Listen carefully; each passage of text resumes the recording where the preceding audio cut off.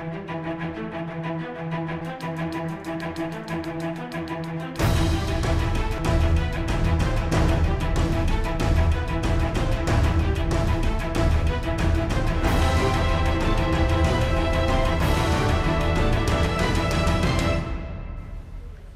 Вітаю, з вами Шах і Мат. Мене звати Андрій Нікітін. Сьогодні ми говоримо про заповідники та заказники Дніпропетровської області. У нас в гостях еколог Михайло Листопадський.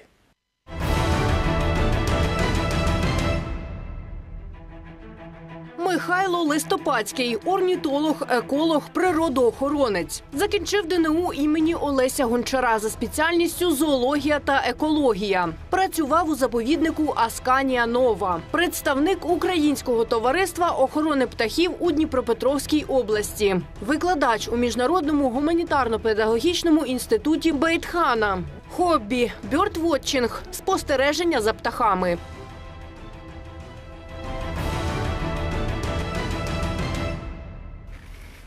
Михайло, я радий вітати в чергове вас у нашій студії.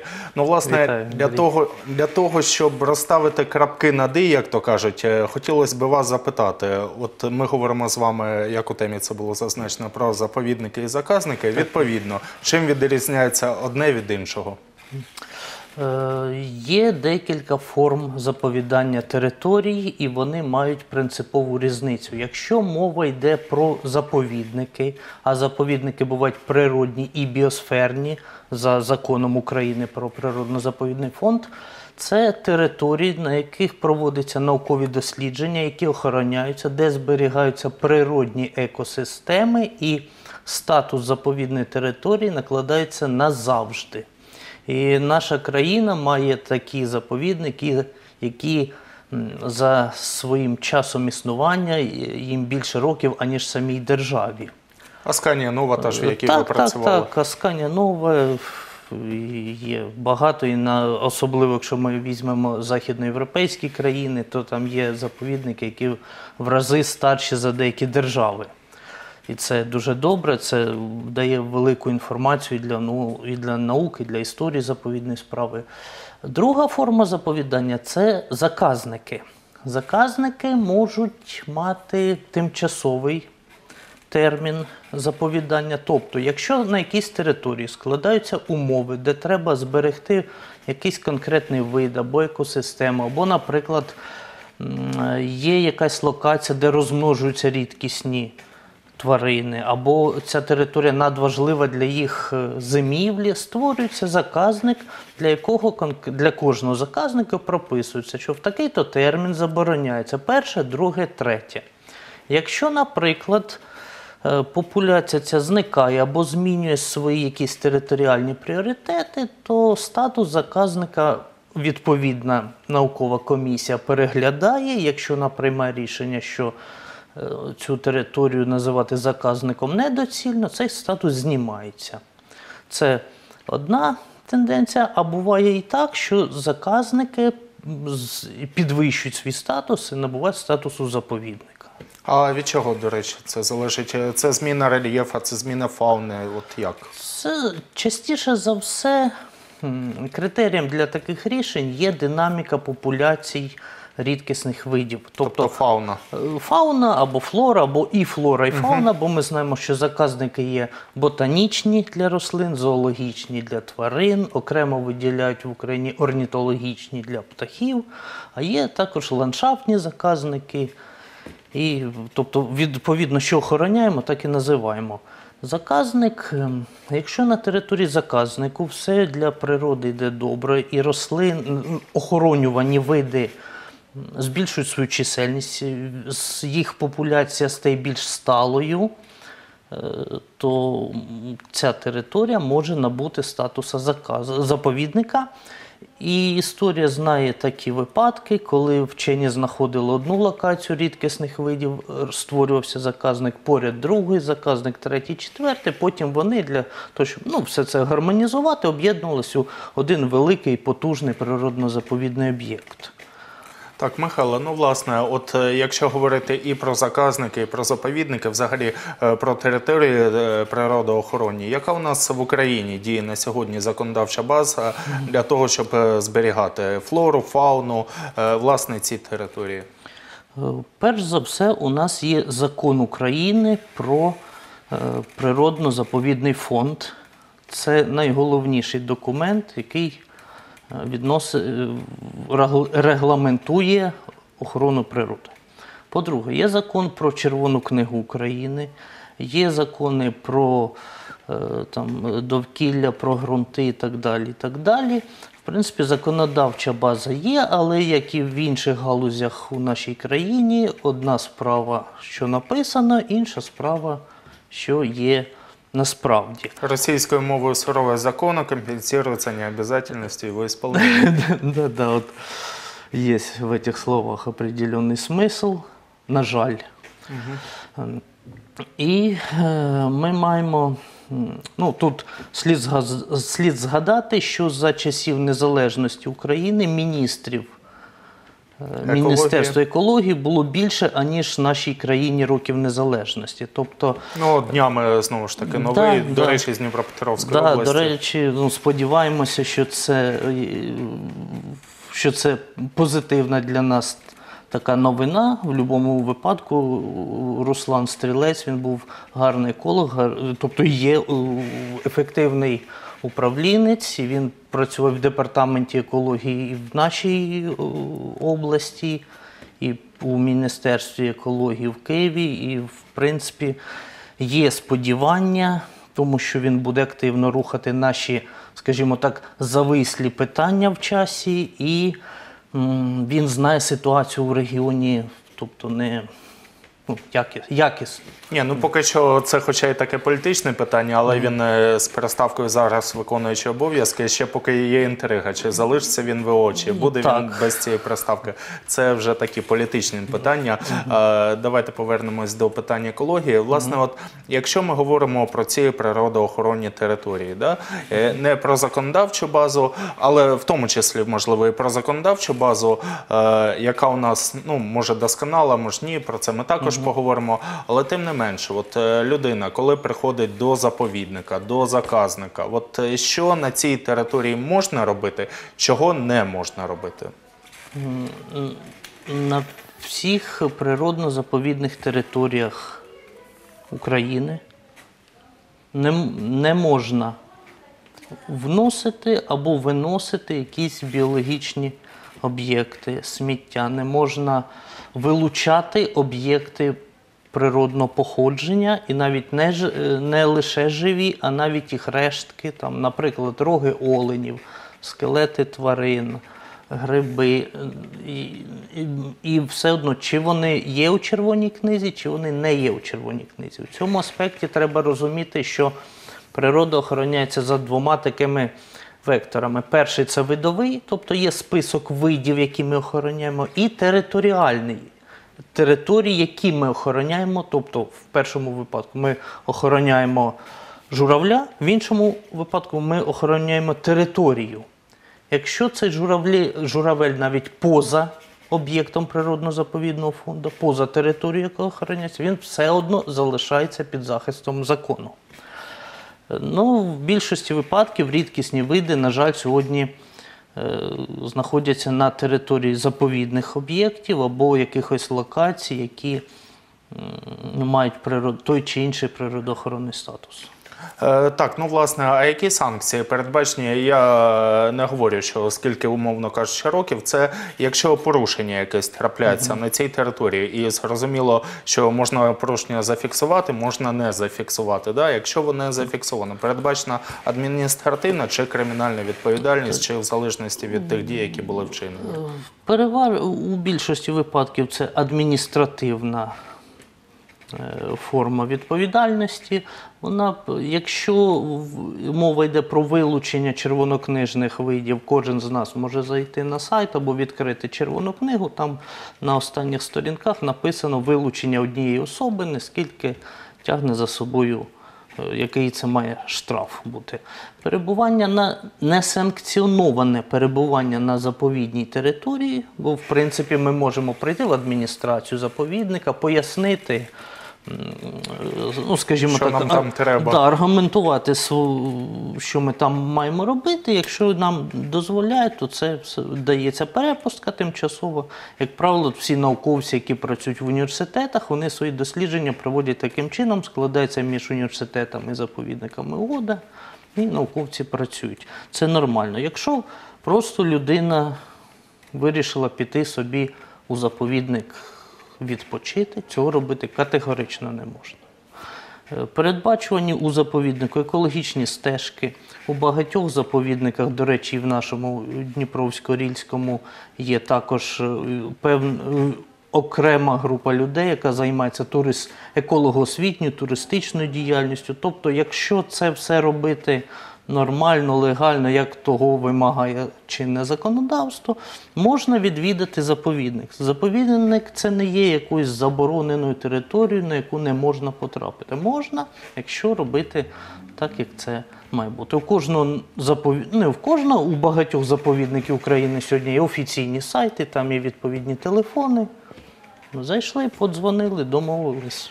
Будь ласка, фахівець розповість, що то за травинка, що то за пташка. І це буде і цікаво, і корисно, і все буде окей. Е, так, Михайло, ще таке питання стосовно законодавства, яке у нас діє на сьогодні.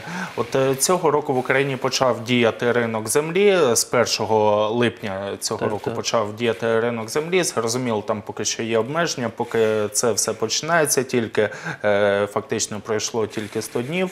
Але тим не менше, у цьому законі да, є певні обмеження, які землі можна продавати, які не можна продавати.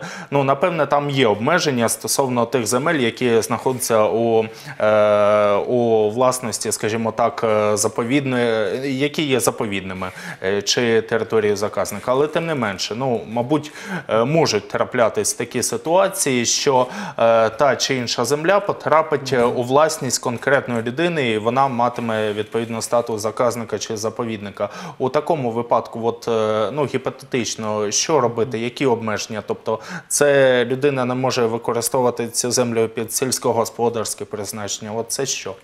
Так, е, е, на нашій е, на Дніпропетровщині це питання стоїть, мабуть, найгостріше з усіх областей України. Справа в тім, що в певні роки створювалася велика кількість заказників під смарагдову мережу, робились об'єкти, але вони в натуру не винесені.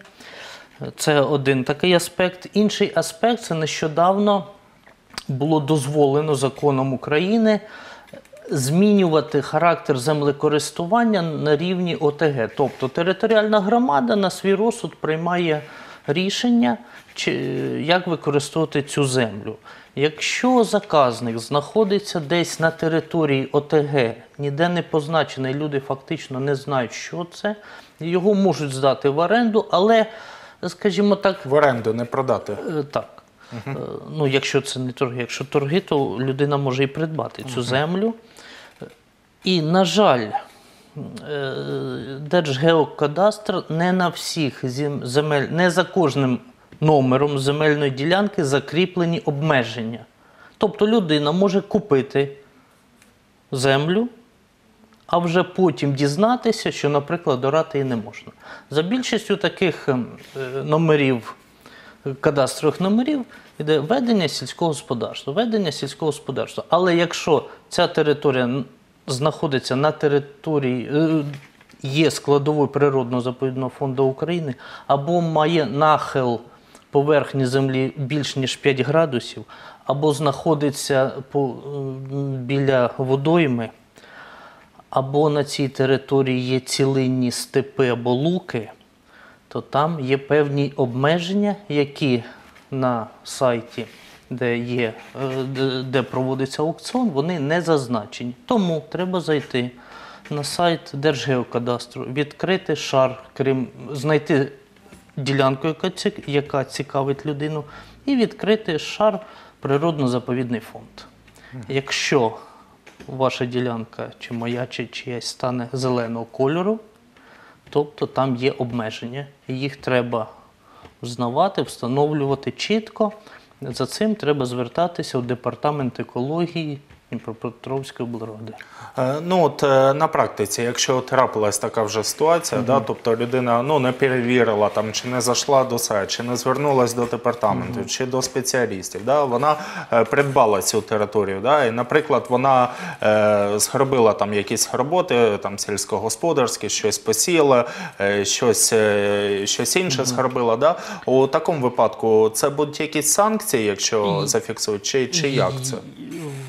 Якщо людина не порушила ті об'єкти, які власне охороняються, які стали причиною заповідання цієї території, санкцій може і не бути. Тобто, де юре можна сьогодні в Україні можна купити шматочок заказника, але орати його не можна. Тобто розорав браконьєр. Просто купив шматок степу. Ну, молодець, маєш шматок степу. Е, Так, Михайло, а власне, якщо ми говоримо про Дніпропетровську область, про наш регіон, от таких земель, е, заповідників, заказників у нас е, мало, багато, ну приблизно скільки? У нас багато, багато одиниць природно-заповідного фонду, але вони дрібні і мають низький природоохоронний статус. Тобто список природно-заповідних об'єктів нашої території доволі значний, але е, якогось такого потенціалу природно-заповідного наша, наша область не має. І більш того, якщо брати до уваги лише діючі заповідники і заказники, якісь національні е, природні парки, регіональні природні парки, то наша область має е, найгірший стан в Україні. При тому, що ми маємо розвинуту промисловість, і кому як не нам, треба її якось компенсувати, підтримувати біологічне різноманіття, щоб природа допомагала і компенсувала ті викиди, ті всі забруднення, те, все, що робить наша промисловість, наша інфраструктура. В кінці кінців у нас надзвичайно густо населений регіон. Тобто, якщо ми подивимося е, питання екології, які виникають в нашій області, от неодноразово збираються і конференції у нас у місті, питання присвячено переважно екологічним питанням міста. А що робиться поза містом, ми не знаємо. Ми піклуємося про сміття в місті, ми піклуємося про викиди, звичайно, бо це наше життя, ми щодня тут. Але наша, наша область це не лише Дніпро. Є А давайте е, підіймемо, до речі, це питання, якщо ми вже торкнулись. Да? От, е, які проблеми такі найкричущі, е, найбільш кричущі? Питання до вас в першу чергу, як до еколога, да? є саме в регіоні. Поза, ну, зараз не обласний центр Дніпро називається після адмінреформи, тим не менше, е, по-старому назвемо його обласним центром. От які найкричущі проблеми є саме поза Дніпром, скажімо, на територіях районів?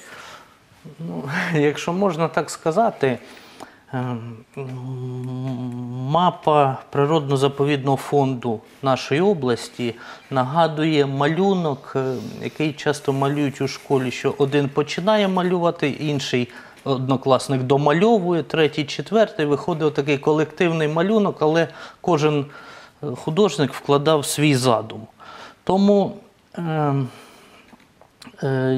Не можна сказати, що у нас досить все організовано, і це надзвичайно було розтягнуто в часі. Бо коли проводились наукові експедиції, не було фінансування, коли на це заходили гроші, не було фахівців, і відбувався такий дисонанс, у результаті якого створ ті заповідні території, які створилися, вони вже втрачають своє біологічне різноманіття. Там вже е, більш до того, якщо поряд живуть браконьєри або якісь несвідомі люди, для них навіть статус природозаповідної території є якимось магнітом. Вони е, розуміють ну, щось наподобі того, що ой, якщо це заказник, значить там є що постріляти. На жаль, є така логіка. Це одна проблема. Інша проблема, що природа концентрується там, де їй дозволяє людина, де до неї нормально відносяться. І ми маємо ряд випадків, де біологічне різноманіття, де рідкісні види існують у тих місцях, де немає природоохоронного статусу. І вона відсутня там, де є природоохоронний статус. І, і наша задача, і моя, зокрема, як еколога, це накрити природозаповідними статусами ті локації, які актуальні на сьогоднішній поточний день. А Так, не ну тобто, в тому числі і законодавство, наша нормативна маза- е, база має бути динамічною. Да? Вона має Звісно. слідувати е, власне за тим, що є, е, скажімо так, в реальності, да? а не що є Звісно, віртуальному. природа постійно віртуальному змінюється. просторі. Якщо ви побачите біолога, який скаже, я все про біологію знаю, він поки ці слова казав, біологія вже змінилася. Тому е, у науковців, у екологів є такий термін моніторинг. Ми постійно слідкуємо, тому і введене таке розуміння, як заказник, який має доганяти, знайшли якусь локацію рідкісних тварин. Заказник, заказник, заказник. Немає, значить нема заказника, бо ми маємо обмеження, є певний відсоток території, який може бути заповідним. Не можна взяти всю область, назвати заповідником, це буде нонсенс. Тому треба, щоб була така фокус-група науковців, яка буде працювати і швидко і якісно доповідати, де і що треба охороняти. І треба, як завжди, кошти це так. реалізовувати. Так, Михайло, давайте по конкретних ми е, пройдемось об'єктам. Зокрема, от ви у Фейсбуці писали про е, створення, ну те, що планується, те, чи те, що вже робиться, створення е, ландша, е, природного парку Самарські плавні. Власне, про що йде мова, яка це територія? Так, це ще на початку 2000-х е, років, коли була ініціатива президента Ющенка розширювати відсоток природозаповідного фонду в нашій країні, була нашими науковцями, нашими вчителями була створена така ініціатива по, ну, скажімо так, по пошуку найбільш цінніших територій. І тоді розпочалась робота, і, зокрема, по регіональному парку, регіональному природному парку Самарські плавні. Самарські плавні це місце впадання ріки Самари у Дніпро. Колись це було верхів'я озера імені Леніна. Зараз це околиці села Орлівщина, Знаменівка, е, неподалік від Новомосковську. Ну Це- так, там гарно дійсно. Да, там дійсно гарно. Е, Там величезні плавні, ця територія. Ми знаємо, є історичні джерела, коли казали, що на ринки Катеринослава під водами везли яйця диких качок. Тобто такий пр- репродуктивний потенціал у цій території. Звісно, сьогодні він антропогенізований, але найбільше цінні території. І от те, що ви бачили у Фейсбуці, це була така невеличка експедиція. Я був туди запрошений разом з колегами з Інституту біології університету для того, щоб виявити, скажімо так, найбільш концентровані місця, такі осередки біологічного різноманіття, там, які най- будуть найбільш ціннішими, які стануть функціональним ядром цього національного парку. Бо історія його створення настільки тривала, що вже та, в самому парку просто, змінюється про ситуація. строки ми не можемо говорити, да, коли це буде реалізовано. Тобто, ну да, це і від влади, і від багатьох Да. факторів залежить. Е, Так, стосовно іншого, от е, ландшафтний заказник, е, колишній Межівський район, про це ви також в Фейсбуці писали. Зараз це Синельниківський район. Так. От про що там іде мова? Там мова йде якраз про такий надзвичайно приємний, але надзвичайно рідкісний випадок, коли е, сам очільник територіальної громади, колектив односельчан, люди просто е, почали спостерігати, що у них на території там заплава невеличкої річки, яка впадає у Вовчу, а завжди у природі коли місця впадання ріки, ріки в ріку, це за- завжди, як правило, є якась заповідна територія або цінна.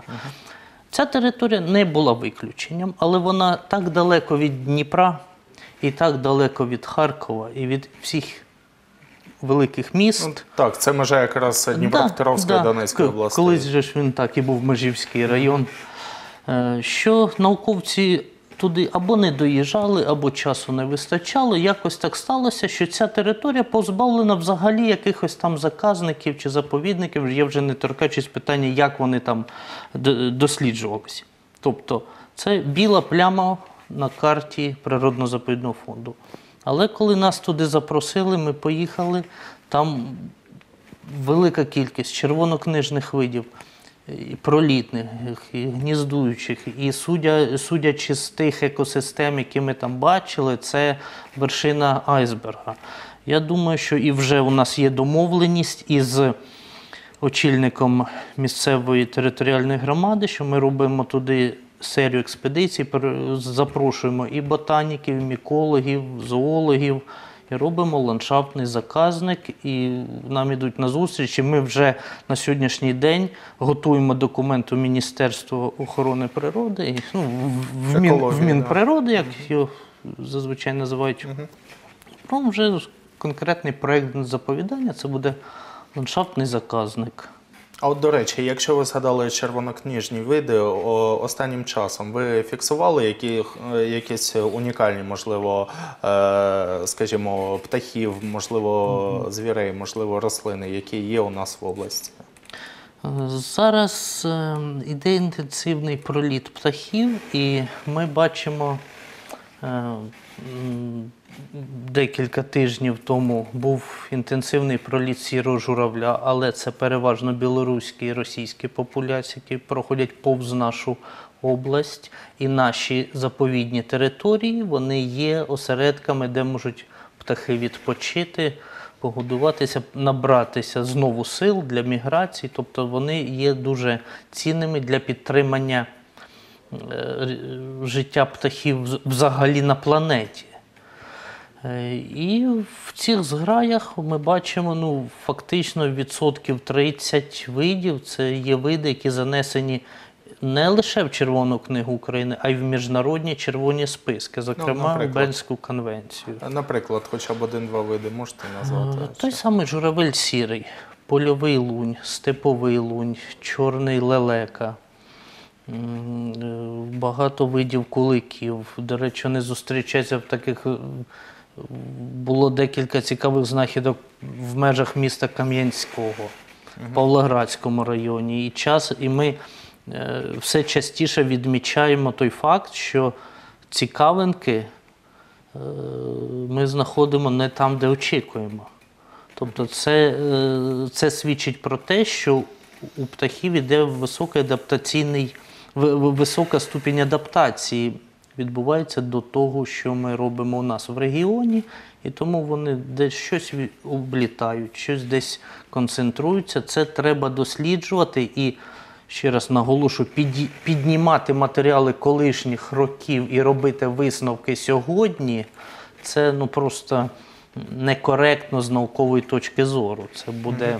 По- Потім будуть казати, що науковці зробили десь там в чистому полі заповідник, там нічого нема. Ну, Дійсно, так що треба.